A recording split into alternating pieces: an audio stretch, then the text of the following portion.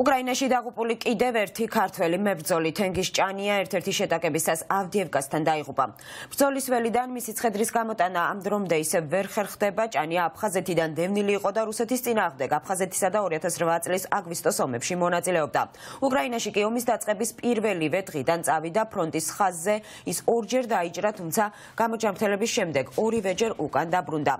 ემა გოგოხია გვერდდება ახლა თემის დეტალებით პირდაპირ ეთერში გისმენ თემა.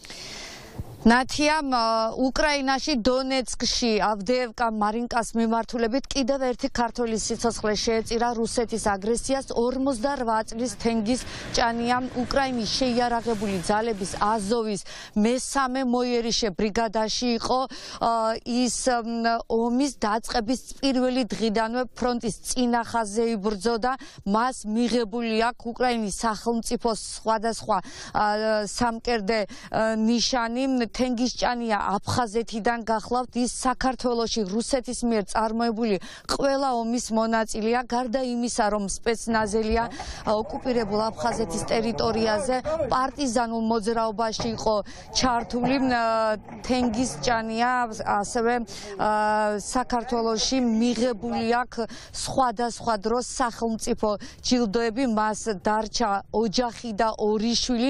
თენგისჭანია იმ მებრძოლებს შორის არის ის რომლებიც რუსეთის მასირებულ სარაკეტო დაბომბაში მოყვნენ სამწუხაროა რომ ამ დრომდე მისი მხედრის გამოსვენება ვერ ხერხდება. თანამებრძოლების შესაფერის დროს ელოდებიან რომ დაბომბვის არეალიდან მოახერხონ მხედრის გამოსვენება. თენგიზ ჭანია არის ორჯერ იყო დაჭრილი თუმცა ის სავადმყოფოდან ომის წინახაზე და დაბრუნდა და ორი ქვეყნის ერთიანობის დასაცავად თავგანწირვით იბრძოდა. თენგისჭანია არის მაგალითი სამშობლოს ერთგულების სამშობლოს სამშობლოსადმი თავდადების და ის როგორც უკრაინაში დაღუპული 62 ქართველი ორი ქვეყნის ისტორიაში შევა როგორც გმირი.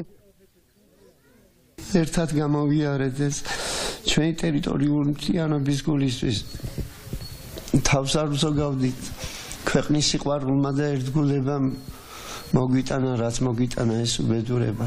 საერთო მწერზე ბძოდა სადაც არ იყო სადაც არ უნდა ყოფილიყო უკრაინის ომი როგორც დაიწყო ეგრევე ჩაერთო.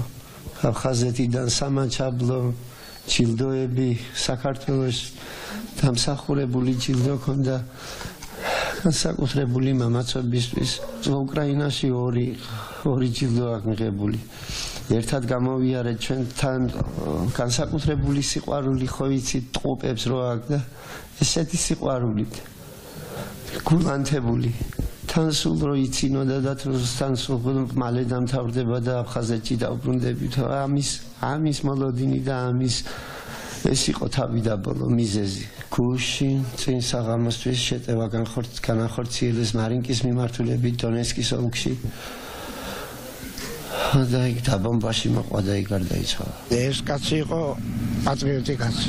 საქართველოს უყვარდა აფხაზეთი უყვარდა. ყველგან ომობდა ეს კაცი გაჩერებული არ იყო ერთი წუთით და უკრაინაში გაჩაღდა ომი მონაწილეობას ეხებდა პირველ დღიდან ჯერჯერობით უცნობია როდის მოხდება მისი გადმოსვენება სამშობლოში. ცნობილია ის რომ მას სამხედრო წესით და პატივით საოკუპაციო ხაზის სიახლოვეს მის საცხოვრებელ სახლთან ახლოს დაკრძალავენ. დასანანია რომ ხელისუფლება ტრადიციულად უკრაინაში დაღუპული ჯარისკაცების მებრძოლების ოჯახში სამძიმარსერიდება ამ დრომდე თენგისჭანიას ოჯახში ხელისუფლების არც ერთი წარმომადგენელი არ გამოჩენილა სამძიმარზე. უსამძიმრებ საქართველოს ოჯახს უკრაინას ამ დიდებული ადამიანის და ჯარისკაცის გარდაცვალებას